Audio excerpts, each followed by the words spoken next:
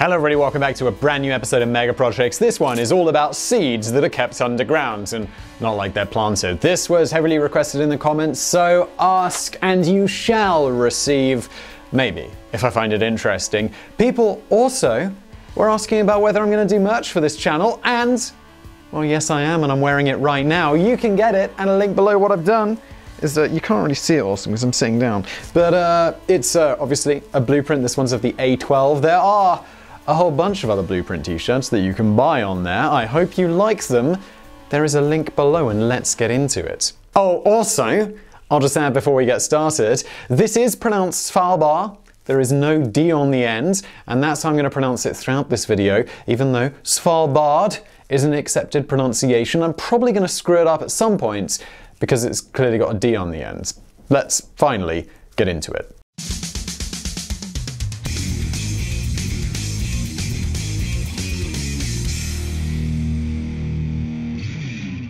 The frozen Norwegian island of Spitsbergen, which lies within the Arctic Circle, it's a pretty brutal place, with temperatures regularly dropping to a bone chilling minus 20 Celsius, that's minus 4 Fahrenheit for all of you using freedom units during winter, and climbing as high as 7 Celsius, 44.6 Fahrenheit, in the summer months. It's far from being a hospitable place. The island also boasts the unique accolade of being the furthest north that any commercial passenger plane lands. And yet, this icy, windswept location is home to one of the most extraordinary human endeavors, a project vast in scale that just might ensure the survival of countless plant species should the unthinkable ever occur. And its name is the Svalbard Seed Vault. The importance of this mega project lies not in size, speed, or glamour. It doesn't receive millions of visitors like some of the other more visually impressive mega projects that we've covered, but if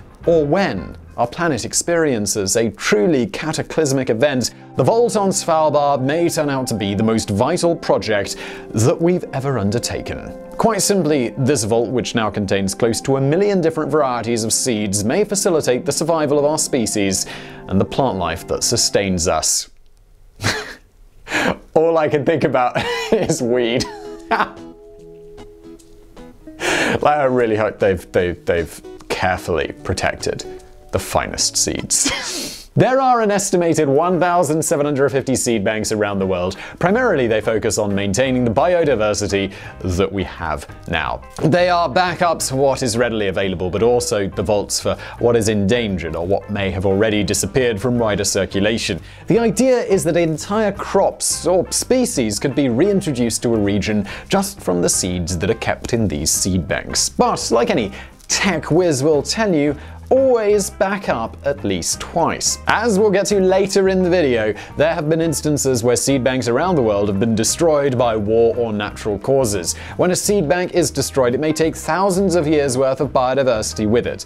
For this reason, countries all over the planet send their seeds to the harsh environment of Spitsbergen, where they are stored in the Svalbard seed vault. It's therefore unsurprising that this has come to be known as the Doomsday Vault. It's also a cooler name.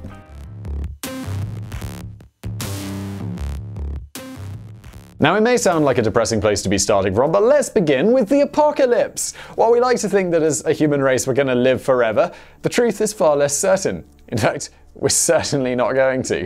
Whether it be an asteroid strike, a supervolcano eruption, or some other event that we haven't yet envisioned, our time on Earth is far from infinite. The idea of the apocalypse has fascinated us since we began the long road to self awareness. It is a concept spanning religions, ancient texts, and contemporary culture, from the Four Horsemen to Mad Max. Yet, while in the past we may have accepted our fate as an act of God, we now imagine what might happen next? What if the human race wasn't completely wiped out?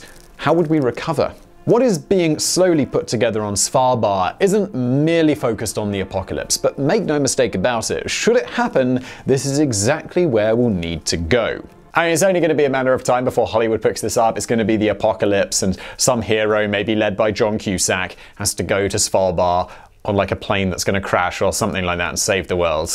It'll be like the plot, of 2012, except less insane.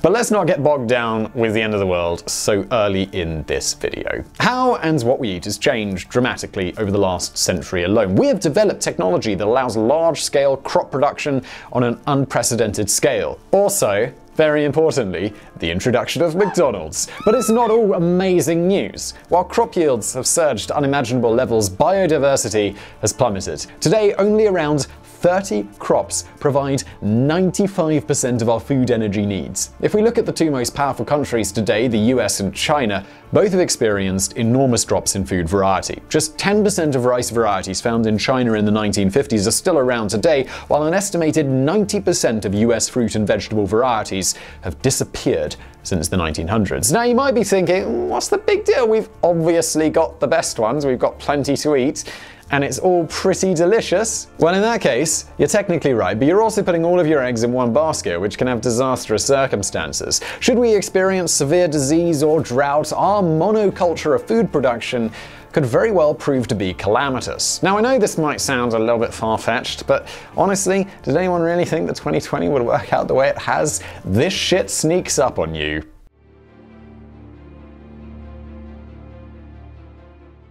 As I mentioned earlier, this is not the only seed vault in the world, but the Svalbard Seed Vault is the safety net of the safety nets. No other seed bank provides the same kind of security. As early as 1984, the Nordic Seed Bank began placing plant germplasm, the genetic material of germ cells, in an abandoned coal mine on Svalbard outside the small town of Longyearbyen. In 2001, the International Treaty on Plant Genetic Resources for Food and Agriculture, ITP-GRFA, hell of a mouthful, was finally signed and began to receive its first signatories from governments around the world. The treaty aimed to establish a multilateral system for plant genetic resources, along with specific rules about use and withdrawals. As of 2020, 147 countries have signed up to the treaty, many of which now keep their replica seeds at Svalbard. Shortly after the treaty was signed, Bioversity International, a global research and development organization focused on agricultural biodiversity, approached the Norwegian government about the possibility of building a seed vault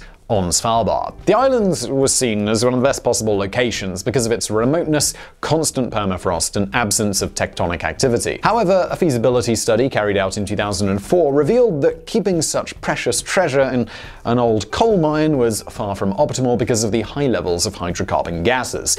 If Svalbard was going to host the seed vault, it would need an entirely new location.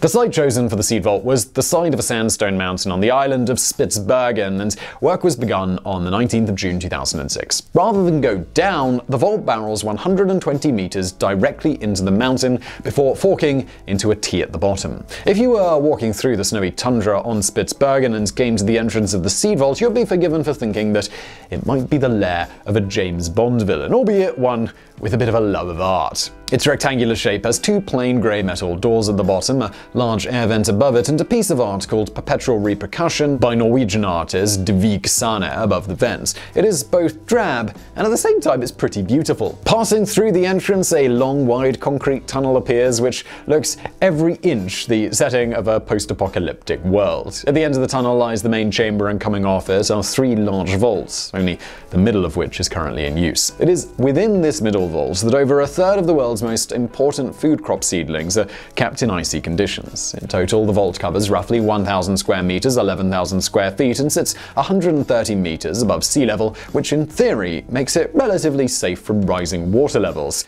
That would be a lot of rising water levels. The result of all of this is about as secure as you're going to get for seed storage. The area is kept at a constant minus 18 degrees Celsius with the help of refrigeration units. Should there be a power outage, it is estimated that it would take several weeks until the vaults warm to the same temperature as the surrounding sandstone bedrock at minus 3 Celsius, while it would take at least two centuries to warm to 0 degrees C. So, to put it simply, these seeds are very well protected, so much so that it is believed that most seeds could survive here for several hundred years, while some important grains could survive for thousands of years. As if the vault itself was not secure enough, the seeds are afforded the utmost care. They're placed in sealed three-ply foil packages before being heat sealed. They are then stored in plastic tote containers, each carefully marked with its country of origin and details about what's inside. Each seed sample typically comes with 500 individual seeds, and the vault can hold 4.5 million samples, or 2.25 billion seeds. The vault aims to hold replicas of every sample held in seed banks around the world, but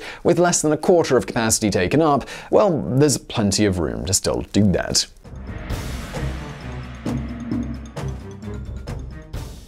The Svalbard Seed Vault was officially opened on the 26th of February 2008, though the first seeds, totaling 18,000 samples, had arrived one month earlier. By the vault's first anniversary, that number had reached 400,000, including 90,000 to commemorate its first birthday. This group included 32 varieties of potatoes from Ireland, 20,000 samples from the US Agricultural Research Service, along with others from Canada, Switzerland, Colombia, Mexico, and Syria. This brought the total number of individual seeds stored in the vault to over 20 million. In 2015, the vault authorized its first withdrawal as the civil war in Syria neared the city of Aleppo, home to the International Center for Agricultural Research in Dry Areas, ICARDA. The center was hastily moved to Beirut, but because of the difficulties with moving large amounts of samples, some copies held in Svalbard were sent instead. A second, more substantial withdrawal was made two years later. Since then, samples grown have been returned to Svalbard. These remain the only two occasions when seeds have left the vault. It would be a stretch to use the word lucky with the devastation that has fallen on Aleppo, but in an agricultural sense, many of the seeds at ICARDA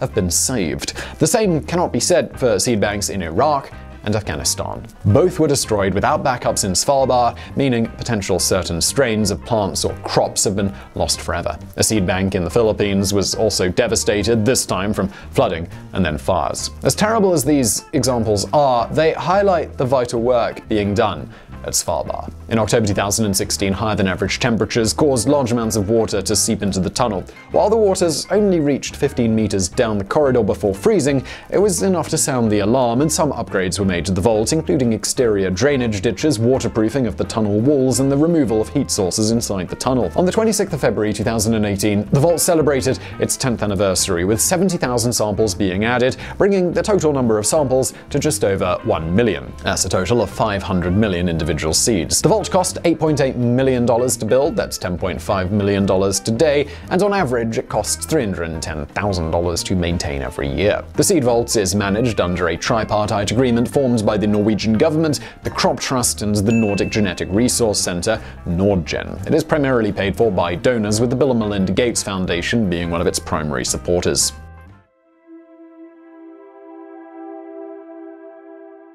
It's probably fair to say that the world has a lot on its plate right now, but food production is going to be yet another enormous hurdle that we will need to navigate in the future. As our climate changes, droughts, forest fires, and storms appear to be on the rise, and who knows what kind of impact this will have in the future. The Svalbard Seed Vault, and indeed seed vaults around the world, continue to quietly maintain the knowledge and crops that we have, and those that are quickly disappearing. Right now, the biggest threat to global seed banks is not from war or natural disasters, but from our own apathy.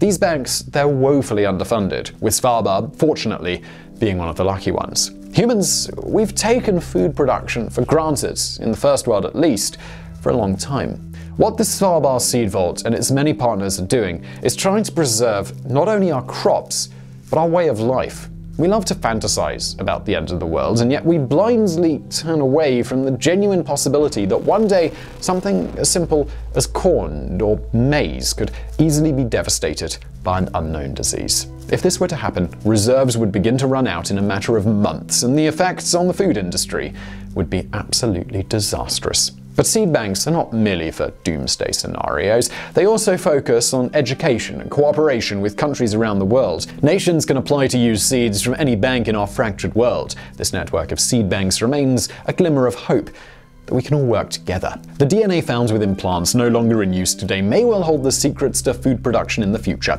Perhaps we will need a corn variety that can grow at a higher temperature, or certain wheat that is immune to a specific disease. Of all of the subjects we've done here on Mega Projects, very few, if any, hold the same kind of global importance as the Svalbard Seed Vault. What is kept buried in a sandstone mountain vault on a desolate Norwegian island represents our last stand. If everything else goes wrong, it is here that we will turn. Maybe we're not talking about the apocalypse, but as the world changes at ferocious speed around us, it's foolish to believe that everything will just remain the same. It is somewhat ironic that almost all of the seeds in the Svalbard seed vault would have next to no hope of ever growing on Spitsbergen. The thick permafrost would prevent them from ever breaking through. But it is this very permafrost that protects our most valuable asset. Forget oil, forget gold. If the seeds disappear, so do we.